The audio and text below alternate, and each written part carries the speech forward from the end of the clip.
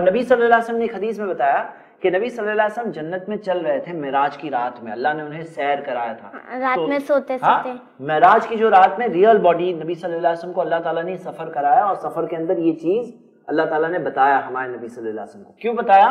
ताकि वो आकर हमें बताएँ और ताकि हम ये बात समझ करके इंशाल्लाह ईमान लाकर उस पर अमल करें।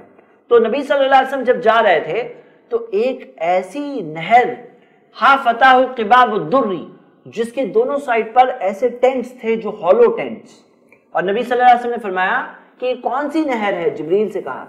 तो जिब्रील ने कहा, हाजल कौसर। ये कौसर की नहर है। कौसर, जो कौसर की जो नहर है, वो जाकर वो जन्नत की नहर है और वो नहर कयामत के दिन जाकर एक हौज बनती है, एक पॉन्ड जिसमें से नबी सल्लल्लाहु अलैहि वसल्लम हौज कौसर से, जामे कौसर पिलाएँगे अपने उम्मतियों को। तो ये कौसर की जो नहर है, ये सुनो जरा क्या बात है इसके अंदर। जिब्रील ने कहा, हादल कौसर अल्लदी आता का रब का अज्जा वजल्ला। ये कौसर है जो तुम्हें, तुम्हारे रब ने आप पर अता किया। और फिर नबी सल्लल्लाहु अलैहि वसल्लम ने फरमाया, फ़काला फ़दफ़रतु बियदी फ़इज़ा तीनुहु मिस्कुन अज़फ़र मैं अपना हाथ उसमें अंदर डालूँगा तो उसके अंदर जो मिट्टी होगी, वो जैसे मिस्कुल असफर, जो बेहतरीन किस्म का मुश्क होगा, वो वैसा होगा, वो मिट्टी। हाँ वो मिट्टी जो होगी उसके अंदर की वो बेहतरीन किस्म का मुश्क होगा। और फिर नबी सल्लल्लाहु अलैहि वसल्लम ने ये भी बताया ये हदीस सही बुखारी में है। और एक और हदीस है जिसमें आता है अल कौसरु नहरुन फिल जन्नह हाफताहु मिन ज़हब।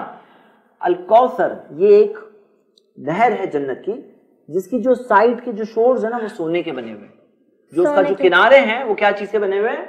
सोने के बने हुए हुए वो गुजरती है वो मजरा हुआ अलल दुर्री वल याकूत गुजरती है पर्ल्स यानी मोतियों के ऊपर से और याकूत के ऊपर से, यानी रूबीज के ऊपर से गुजरती है।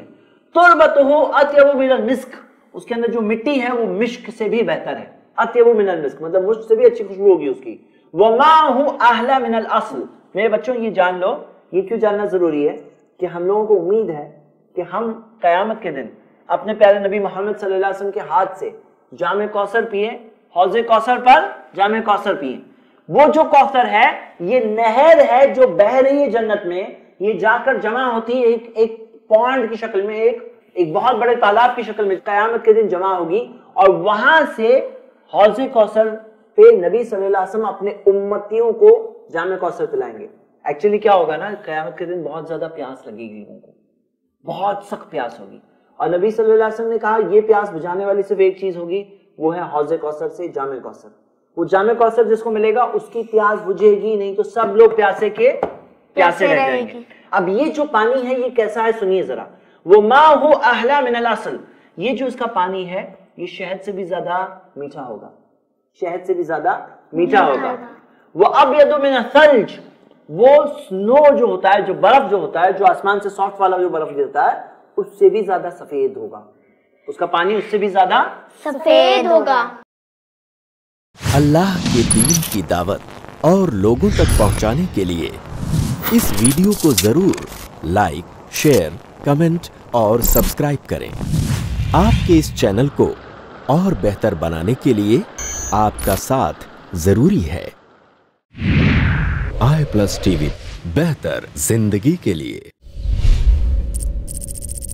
अपने केबल या डीटीएच ऑपरेटर से आई प्लस टीवी आज ही डिमांड करें। I plus TV free to air और इंडियन रजिस्टर्ड चैनल है।